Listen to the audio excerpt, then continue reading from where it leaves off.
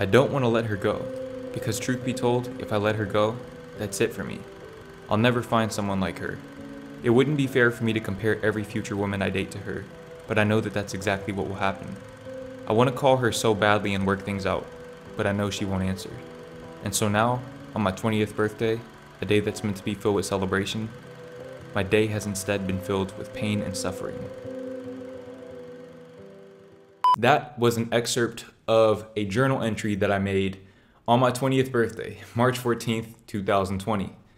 It's also going to be in my book, Soul Shock, which is coming out January 11th, 2022. And if you're watching this video, you could probably use that book, so be on the lookout for that. If you're watching this video, the chances are you're going through something. Could be a breakup, could be a heartbreak, whatever it may be, I've been through it. Okay, I've experienced it.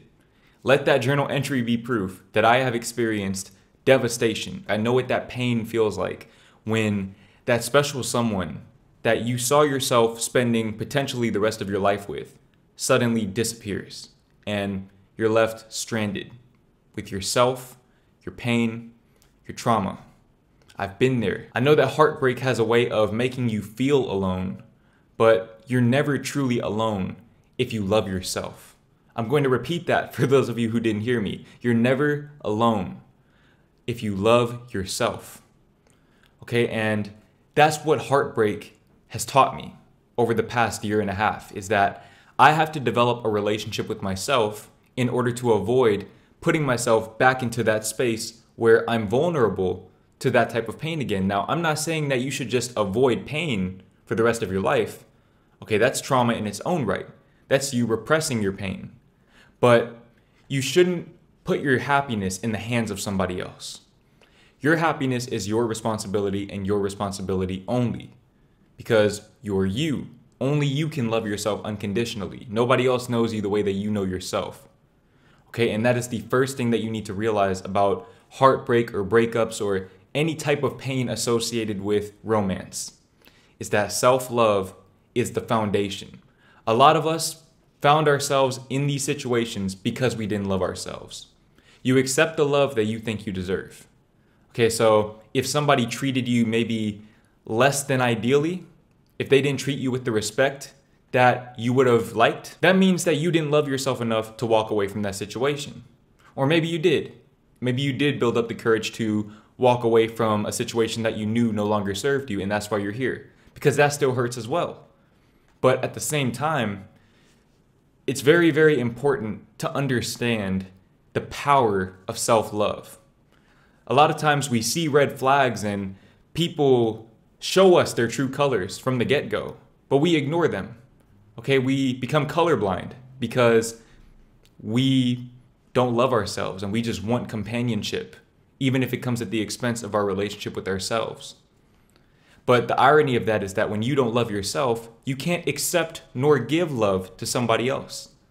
Okay, I've been in positions where I've tried to force people into situations that they weren't ready for, and that I clearly wasn't ready for either, but I didn't see that because I was so lost in my loneliness.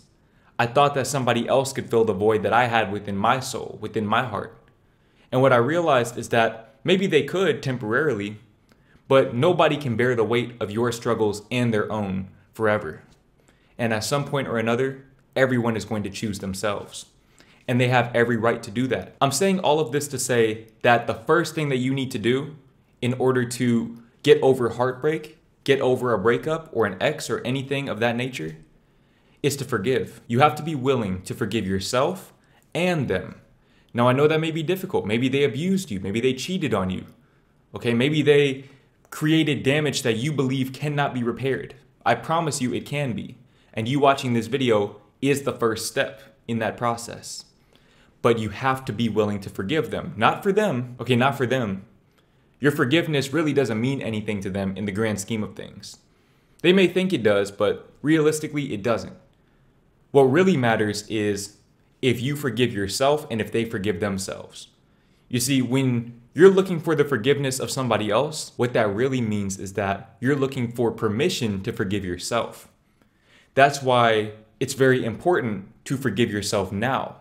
Because even if somebody else forgives you, If you don't forgive yourself, you won't be receptive to their forgiveness. You won't be receptive to their positivity and their love.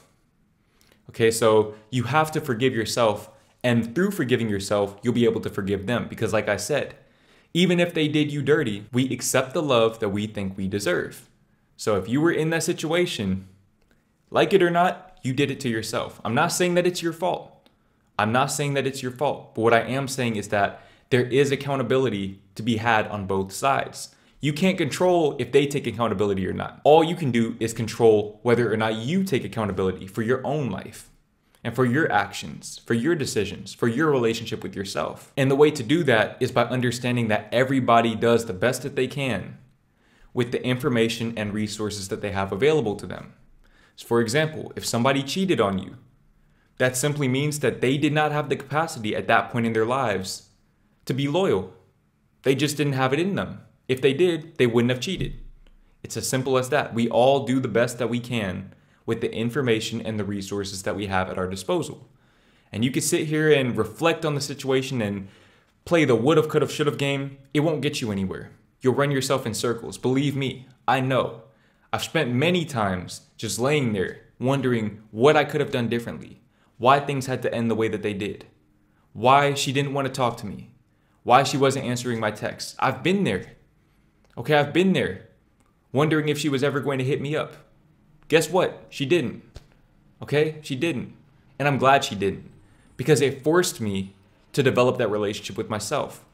I had to transcend my codependency and develop that love within myself. Now, I understand that this process is much easier said than done. Okay, forgiveness, especially forgiveness of self, because a lot of times it requires you to dig deep into your shadows. You have to go down the rabbit hole of your own subconscious mind and figure out what trauma caused you to accept the broken love that that person tried to give you, the broken love that that person had the capacity to give you. Because, like I said, everyone does the best that they can with what they have. Okay, so if they were only able to give you half of the love that you feel like you deserved, why were you only willing to accept that? Okay, ask yourself, why was I only willing to accept that? Not why were they only willing to give that. And a great way to find the root of your trauma is to do therapy. And that brings me to BetterHelp, the sponsor of today's video. Now you're watching this video because you're going through heartbreak, which I believe to be probably the greatest pain that you could ever experience in your life. BetterHelp will assess your needs and match you with your own licensed professional therapist with whom you can start communicating within 48 hours. It's not a crisis line, it's not self-help, it's professional counseling done securely online. There's a broad range of expertise in BetterHelp's 15,000 plus counselor network, a lot of which may not be locally available in many areas. This service is available for clients worldwide. You can log in at any time and send a message to your counselor, and you'll receive a timely and thoughtful response. In addition to that, you can also schedule a weekly video or phone call with your counselor so you'll never have to worry about waiting in an uncomfortable waiting room like you would in traditional therapy settings. BetterHelp is committed to facilitating great therapeutic matches, so they make it easy and free to change counselors whenever needed. It's more affordable than traditional offline counseling, and financial aid is available. BetterHelp wants you to start living a happier life today. So go to betterhelp.com slash Jordan Green. That's better, H-E-L-P.com slash Jordan Green. And join the over 1 million people, including myself, who are taking charge of their mental health by seeking professional counsel. Okay, do not undermine the value of having somebody who's there to listen to you and give you insightful advice. Very, very, very important on your journey. Do not try to overcome this alone. That's a big part of the reason why I make the videos that I make, is because I believe that nobody should have to overcome that type of pain by themselves. I'm not even sure if it's possible, if I'm being honest. Because for me, I know that I've confided in making these videos because I know that I'm creating a community of people who feel misunderstood in their pain. Like I said, I understand you. I understand what it feels like to lay awake at night wondering why you weren't good enough. I've been there. I know what it's like to go on late night drives and cry the whole drive. I've been there. But you have to understand that that pain will not kill you. Okay, that pain will only strengthen your relationship with yourself, but you have to allow it to do that. You have to see beyond the way that you feel, and you have to understand why this had to happen to you. Now, a great way to express your forgiveness for yourself as well as for your ex or whoever it was that you're watching this video thinking about is to apologize to them. Now, I know I might lose a few people with that one. Okay, if you feel like you're the victim in this situation, it may be very difficult for you to put your pride to the side and apologize to somebody who you feel did you dirty. I understand that. But you're not doing it for them, you're doing it for you.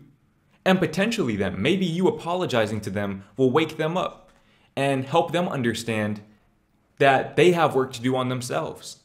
Maybe you can be an example in their lives of how to take accountability. And maybe their next partner will reap the rewards of that. You get to stop that cycle. But this is about you first and foremost. Okay, apologizing is very powerful because you are taking your power back. You are no longer the victim of your situation. You are in control of your situation. You are in control of your past, your present, and your future by apologizing. I've personally apologized in the past to women that I felt did me dirty, and it felt like a weight was lifted off of my shoulders. I felt more at peace than ever before because I took accountability. I realized that I can only control what I can control, which is me. And by taking responsibility, understanding where I went wrong, owning my mistakes, and apologizing for them, it allowed me to clear the guilt from my subconscious and begin to work on myself again. Instead of having these invasive, intrusive thoughts in the back of my mind, preventing me from finding love. These are the thoughts that will keep you in those same types of relationships over and over and over again. This is why a lot of people attract the same type of partner, that same toxic person with a different face. It's because they refuse to take accountability. When you identify with the victim mentality, the victim mentality will identify with you. It will latch onto you and it will make your life a living hell. Okay, so you have to be the bigger person and apologize. Okay, a lot of times you don't realize what people are going through. Like I said, we all do the best that we can with what we have. What I realized in hindsight is that in me trying to force people to love me in the way that I felt like I wanted to be loved, I was completely undermining the way that they felt. I was being selfish. At the time, I didn't realize that. I was being selfish. I was being toxic. I had to take responsibility for that. Does that excuse the way that they treated me? No, it doesn't. Okay, I've been treated down bad before, ghosted, flaked on, all types of things. But I can't control that. What I can control is me. I can control my actions. I can't control my thought patterns and my self perception. You have to take responsibility for your own well being, your own peace of mind. You can't put those things in the hands of other people because at a certain point, they won't be able to carry them anymore.